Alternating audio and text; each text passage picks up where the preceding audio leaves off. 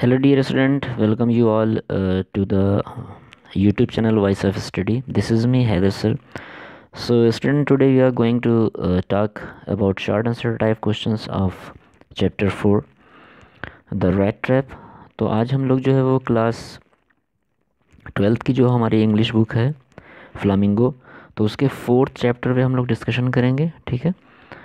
जिसका टाइटल है the rat trap तो इसका लॉन्ग आंसर जो है वो सारे क्वेश्चंस लॉन्ग आंसर्स के हम लोगों ने अटेम्प्ट कर लिया है, ठीक है? और उस वीडियो का जो लिंक है, वो इस वीडियो के डिस्क्रिप्शन में हम दे रहे हैं, आप जाके उसको वॉच कर सकते हैं।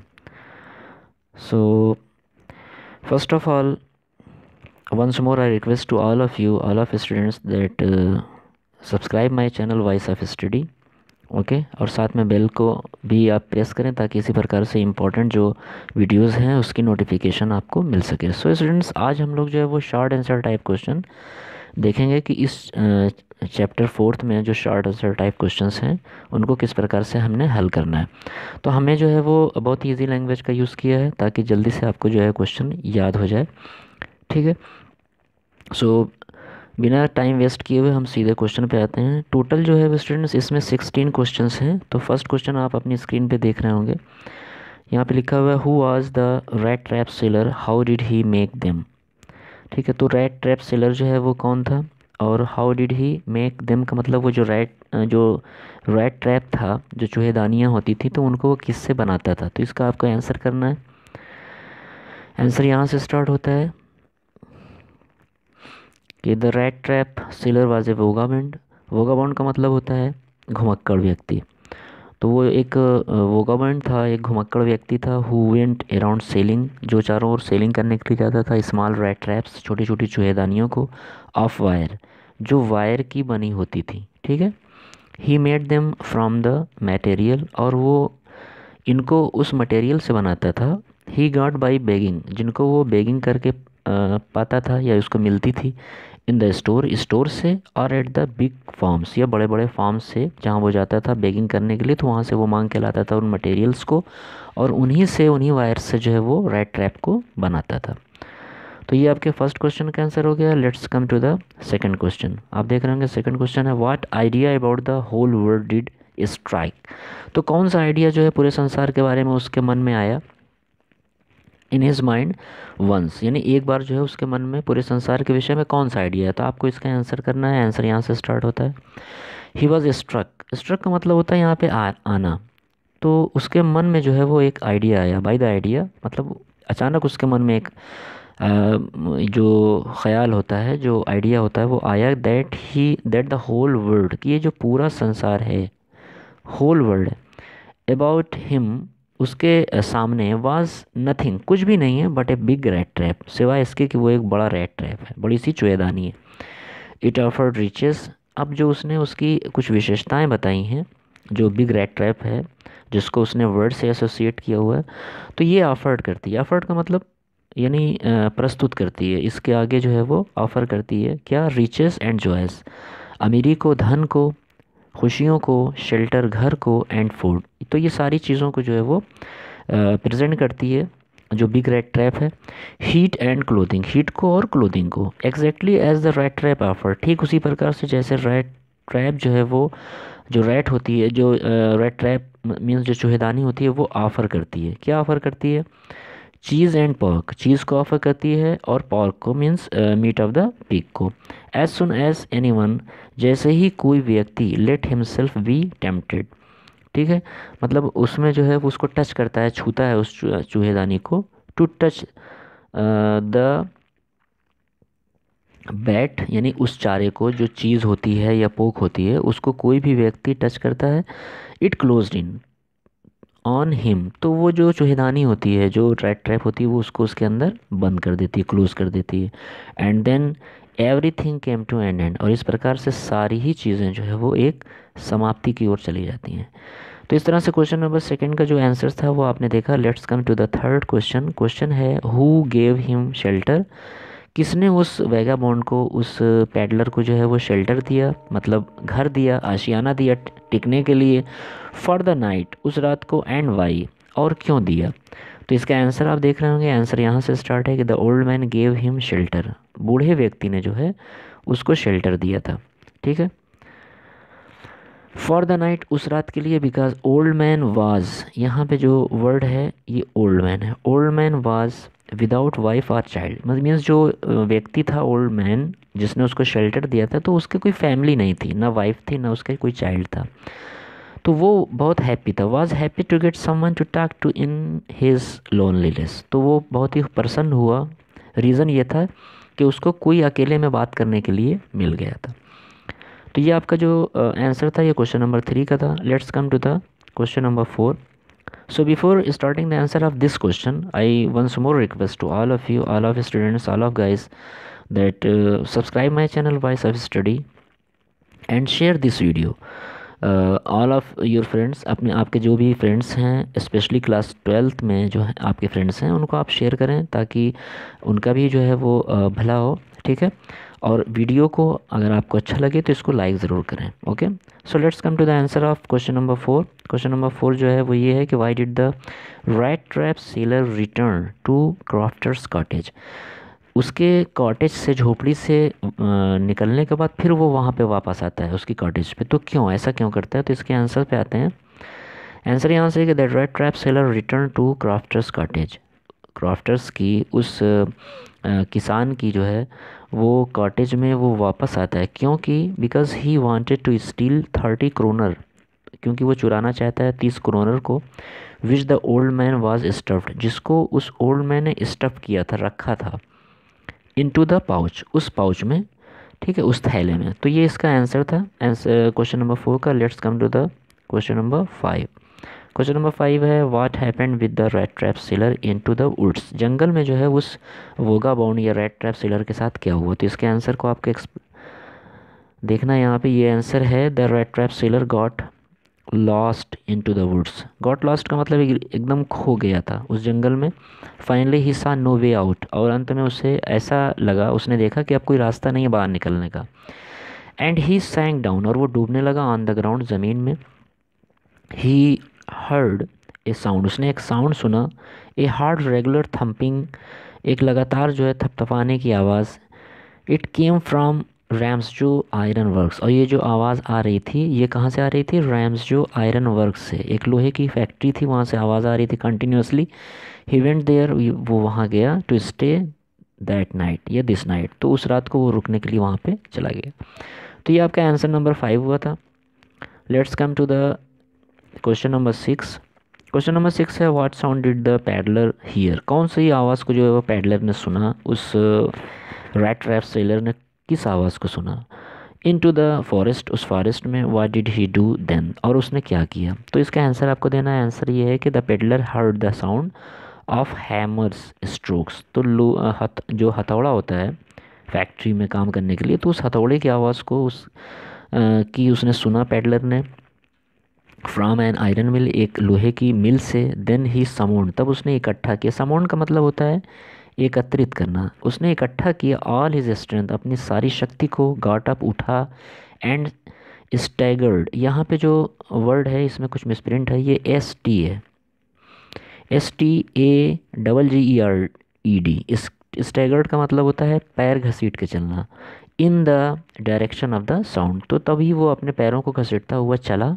In the direction of the sound का मतलब जिधर से आवाज़ आ रही थी। Let's come to the answer of seven question number seven आप देख रहे हो कि व्हाट वाज रैम्स जो आयरन बॉक्स जो रैम्स जो आयरन बॉक्स था, ये क्या था? What was happening inside it और इसके अंदर क्या हो रहा था? कौन सी घटना घटित हो रही थी? तो आपका आंसर इसका करना है। Ramsjo ironworks was a large plant एक बड़ा प्लांट था ये। और मिल, या मिल थी विद स्मेल्टर जहाँ पे स्मेल्टर हो होता था मतलब लोहे को पिघलाया जाता था रोलिंग रोल रोलिंग में जो है वो उसकी फिटिंग की जाती थी प्लांट किया जाता था एंड फोर्ज और ये एक कारखाना था।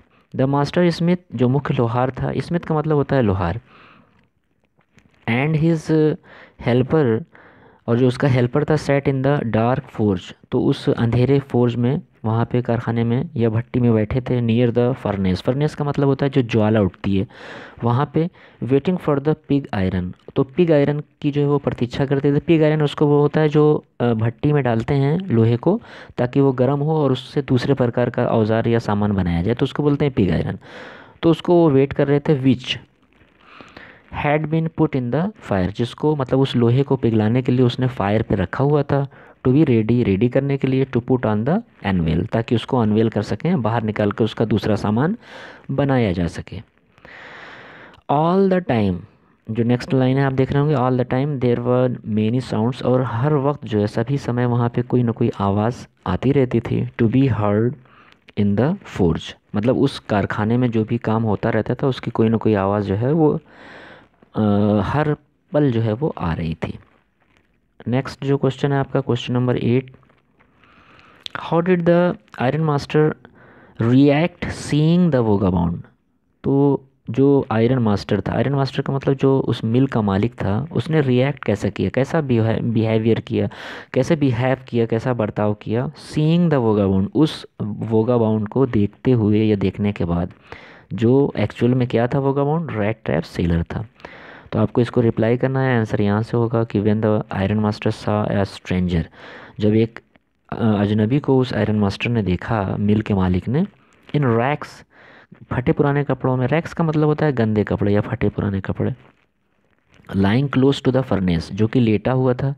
क्लोज टू द फर्नेस का मतलब बिल्कुल भट्टी के पास में। ही वेंट नियर हिम वो उसके पास गया and remove his slouch hat to get a better view तो उसकी झुकी हुई जो हैट थी, उसको उसने उठाया ताकि उसको अच्छी प्रकार से देख सके his face and he thought that और उसने सोचा कि the rat trap seller was his old acquaintance यहाँ पे जो ये वर्ड है थोड़ा सा क्लियर नहीं है, इसको आप देख लें, ये ओल्ड है ओ एल डी ओल्ड और उसके बाद जो नेक्स्ट वर्ड है acquaintance A C Q U A I N T A N C acquaintance acquaintance का मतलब जान पहचान होता तो इसका जो मतलब होता है कि एंड ही थाट और उसने सोचा that he that the rat trap seller जो रेड ट्रैप सेलर है वाज हिज ओल्ड अक्वाइंटेंस का मतलब उसका पुराना साथी है।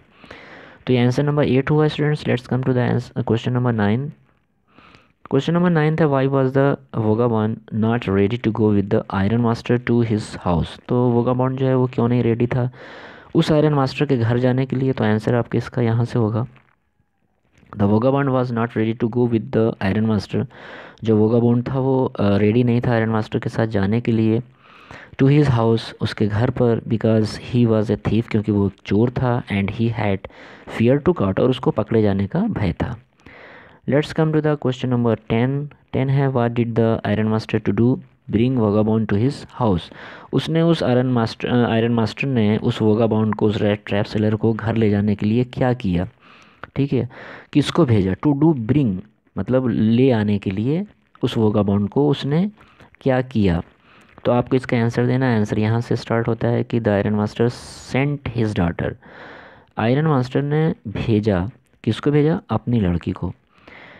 अपारेंटली इसके अलावा होपिंग दैट ये आशा करते हुए she would have better power कि उसके पास जो है वो उससे अच्छा पावर है ऑफ़ परसुएशंस परसुएशन का मतलब होता है मनाना, ठीक है? राज़ी कर लेना। मनाने का देन ही हिमसेल्फ मतलब हिमसेल्फ का मतलब जो आयरन मिल का जो मालिक है, उसकी तुलना में उसकी बेटी जो है वो आराम से उसको मना लेगी घर लाने के लिए to bring vagabond to his house ठीक है? तो ये आंसर नंबर टेन हुआ। Let's come to the question number 11 question number 11 है what did the iron master and his daughter decide to do with the guest? तो iron master उसकी daughter ने क्या डिसाइड किया कि उस गेस्ट के साथ क्या किया जाए?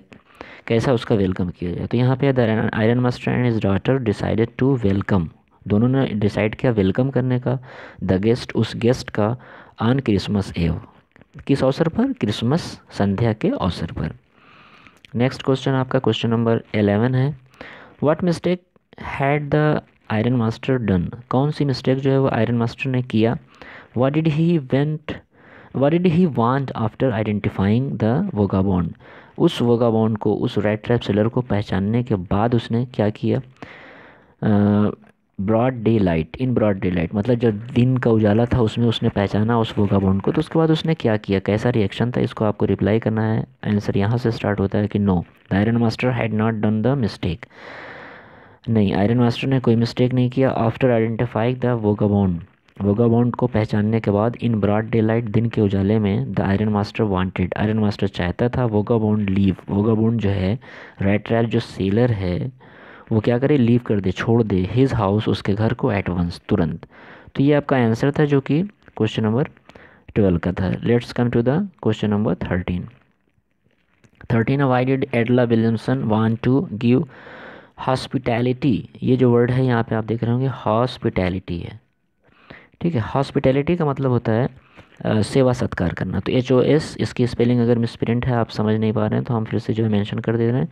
H O S P I T A L I T Y hospitality to the vagabond तो वाई डिड एडला विलियमसन सबसे पहले आपको ये समझना है कि एडला विलियमसन कौन थे? इसमें कन्फ्यूज़ मत होइएगा ये जो है डॉटर ऑफ़ आयरन मास्टर है जो मिल का मालिक था उसकी ये डॉटर है।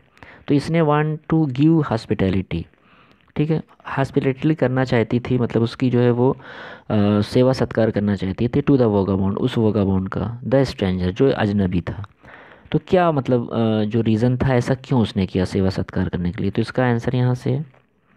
Edla Williamson wanted to give hospitality जो एडला विलियमसन थी, वो चाहती थी कि हम जो है वो उसको हॉस्पिटल उसकी सेवा करें। मतलब हॉस्पिटैलिटी का मतलब उसका अच्छे से जो है सत्कार करें। क्यों? टू द वोगा बोंड उस वोगा बोंड का द स्ट्रेंजर जो कि स्ट्रेंजर था because she was a merciful girl वजह ये थी कि वो जो लड़की थी, वो बहुत ही मर्सीफुल थी, दयालु थी। शी वॉज़ हैप्पी वो खुश थी एंड फीलिंग होम लाइक्स यहाँ पे जो वर्ड है स्टूडेंट्स ये थोड़ा सा मिसप्रिंट है। ये होम उसके बाद एल आई के है ये। के ई एस होम लाइक्स तो फीलिंग होम लाइक्स का मतलब वो जो वोगा बाउंड है, जो स्ट्रेंजर है, वो अपने घर की तरह इसको महसूस करे। To make things for poor vagabond और उसने कुछ चीज़ें बनाई जो वोगा बोंड के लिए थी। मतलब कुछ खाने की चीज़ें भी उसने उसके लिए बनाई। तो ये आपका आंसर हुआ। क्वेश्चन नंबर थर्टीन का let's come to the question number fourteen question number fourteen पे आने से पहले वंस मोर हम जो है वो आपसे ये कहना चाहेंगे कि आपको अगर इसमें कुछ एरर नज़र आ रही हो, कोई आपको मिस्टेक समझ में आ रही हो, कोई आंसर ऐसा हो जो कि बहुत टफ़ लैंग्वेज में हो तो आप कमेंट में कमेंट बॉक्स में अपने कमेंट दे सकते हैं व्यू अपने ड्रॉप कर सकते हैं, ताकि हम उसका रिप्लाई करेंगे, ठीक है? तो क्वेश्चन नंबर फोर्टीन है how did the rat trap seller pass his time in iron master's house जो रेड ट्रैप सेलर था, उसने आयरन मास्टर के हाउस में, घर में अपने टाइम को कैसे पास किया? Let's come to the answer the rat trap seller did nothing rat trap seller ने कुछ नहीं किया but sleep all time in iron master's house सिवाय इसके कि वो आयरन मास्टर के या मिल के मालिक के घर में सोता रहा। It seemed as though for many years ऐसा लग रहा था, मानो कई सालों से ही had not been able to sleep वो सोने के लायक नहीं था एज क्वाइटली एंड सेफली इतनी शांति से और सुरक्षित प्रकार से एज हियर जितना कि यहाँ पे. हीयर का मतलब उस आयरन मास्टर के घर में वो इतनी आराम से, इतनी शांति से सो रहा था, जैसे कि उसको पहले कई सालों से कभी भी नहीं मिला था सोना, सोने के लिए। तो ये आंसर नंबर फोर्टीन था, जिसको आपने देखा। Let's come to the question number fifteen fifteen है what information did the iron master and his daughter received at the church तो चर्च से आयरन मास्टर और उसकी डॉटर को कौन सी इन्फॉर्मेशन रिसीव हुई? इसके आंसर पे आपको आना है। आंसर यहाँ से स्टार्ट होता है। The iron master and his daughter received जो आयरन मास्टर है, उसकी डॉटर है, उसने रिसीव किया इन्फॉर्मेशन को। जानकारी को, क्या थी जानकारी? एट द चर्च उस चर्च से जो मिली थी that one of the old crafters जो एक बूढ़ा क्राफ्टर था, किसान था ऑफ़ द आयरन वर्क्स उस आयरन वर्क में हैड बिन रॉब्ड उसको लूट लिया गया। ठीक है? रॉब्ड बाई ए मैन एक मैन के द्वारा, एक व्यक्ति के द्वारा हु वेंट अराउंड जो चारों तरफ़ जाता है सेलिंग रेड ट्रैप्स अपनी चूहेदानी को बेचने के लिए। तो ये फिफ्टीन जो नंबर का क्वेश्चन था, उसका आंसर था। Uh, you will enjoy all the answers. Let's come to the last question of the short answer type. Uh, जो ये आपके क्वेश्चंस हैं उसमें ये लास्ट क्वेश्चन है क्वेश्चन नंबर सिक्सटीन जिसको आप स्क्रीन पे देख रहे होंगे क्वेश्चन है कि what Christmas present did Edla receive from the peddler तो उस पैडलर से जो उसकी लड़की थी आयरन मास्टर की एडला उसने कौन से क्रिसमस प्रेजेंट को रिसीव किया था why did she give little cry of joy और उसने जो है वो uh, एक लिटिल क्राई थोड़ा जो चिल्लाई थी जो आय से तो उस, उस उसने ऐसा क्यों किया था? तो इसको आपको आंसर करना है। आंसर यहाँ से स्टार्ट होता है कि Edla received a small rat trap rat trap जो है वो स्मॉल उसको रिसीव हुआ था as a present Christmas present तो यहाँ पे आंसर में ये लिखा हुआ कि Edla received a small rat trap उसने रिसीव किया था एक छोटी सी चूहेदानी एंड इन इट और इसके अंदर lay three wrinkled ten kronor notes और इस, इसके अंदर तीन टेन क्रोनर्स के नोट मुड़े हुए जो है वो मौजूद थे। एंड आल्सो ए लेटर और एक लेटर भी लिखा हुआ था रिटर्न इन लार्ज बड़े बड़े अक्षरों में जैगल कैरेक्टर्स ठीक है? मतलब कटे फटे अक्षरों में जो है वो एक लेटर भी लिखा हुआ था फॉर क्रिसमस प्रेजेंट ठीक है? क्रिसमस प्रेजेंट के लिए फ्रॉम द पैडलर जो कि उस पैडलर ने लिखे थे। यानी उस पैडलर की तरफ़ से ये लेटर दिया गया था एडला विलियमसन को। She gave a little cry of joy तो जॉय से जो है, खुशी से वो उसने चिल्लाया। ऐसा क्यों किया? Because she found these things of Christmas present क्योंकि ये सारी चीज़ें जो हैं, जो शी जो उसको लिटिल रेड ट्रैप मिला था। ठीक है? और जो थर्टी क्रोनर उसने दिए थे, जो टेन क्रोनर के नोट्स थे। तो ये सारी चीज़ें उसको जो मिली थी वो किस उपलक्ष्य में मिली थी? क्रिसमस प्रेजेंट के तौर पे मिली थी। तो इसी के लिए उसने जो ऐसे जो है वो एक लिटिल क्राई किया था, चिल्लाई थी। तो स्टूडेंट्स इस तरह से जो है लेसन फोर्थ का जो आपका रेड ट्रैप जो टाइटल है, उस चैप्टर का शार्ट आंसर टाइप क्वेश्चन जो है वो पूरा एंड होता है। I hope you will enjoy और जो लैंग्वेज है बहुत ही ईजी थी उसको हमने फॉर्म किया था। आई होप आपको ये वीडियो पसंद आया होगा। अगर वीडियो अच्छा लगा हो तो इसे लाइक करें फ्रेंड्स को शेयर करें चैनल पर नए हैं तो इसको सब्सक्राइब करें। सो so, स्टूडेंट्स मिलते हैं नेक्स्ट वीडियो में तब तक के लिए बाय